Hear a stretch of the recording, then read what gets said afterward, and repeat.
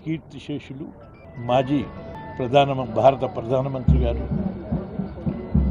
మన తెలుగు ప్రజలు గర్వించదగ్గ మహావ్యక్తి కీర్తిశేషులు పివి నరసింహారావు గారికి జయంతి ఉత్సవ సందర్భంగా వారికి నా శ్రద్ధాంజలి నివాళులు మాన్యులు పివి నరసింహారావు గారి గురించి భారతదేశ వ్యాప్తంగా వారి యొక్క వ్యక్తిత్వం వారి యొక్క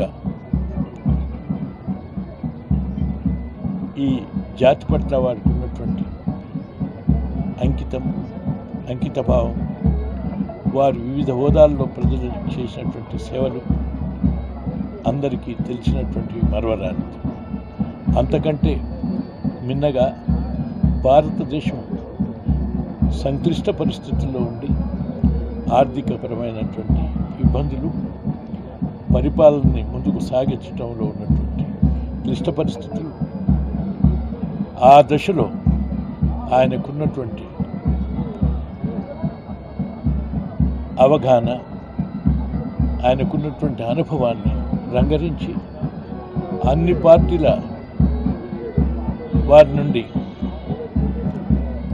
ఆమోదయోగ్యంగా పరిపాలన సాగించటమే కాదు ఆర్థిక సంస్కరణలకు ఆద్యుడు ఆరాధ్యుడు.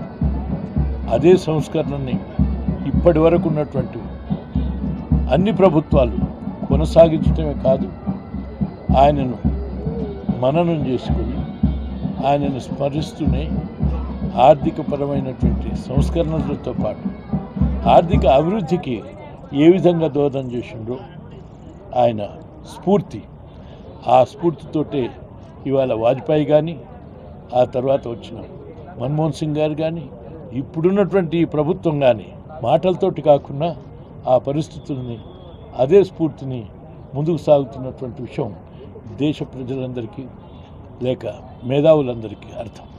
అందుకని ఆయన ఈ జాతికి చేసిన సేవలకు మన తెలుగు బిడ్డగా మనందరికీ గర్వకారణం.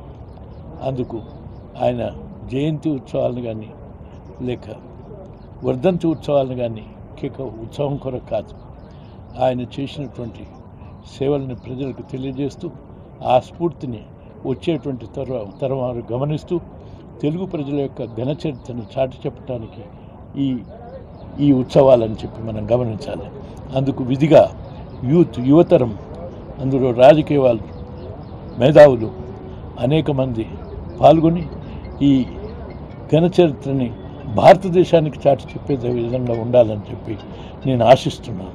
అందుకు నే మేము గమనించినటువంటి వారితో నాకు ప్రత్యక్ష సంబంధం పరోక్ష మొదట పరోక్ష సంబంధంగానే నన్ను ఆయన ప్రేమించి ఆ తర్వాత ఆదరించినటువంటి ఒక వ్యక్తి. ఆయనకు ఉన్న ఆయనతో ఉన్న సంబంధాన్ని మర్చిపోలేను.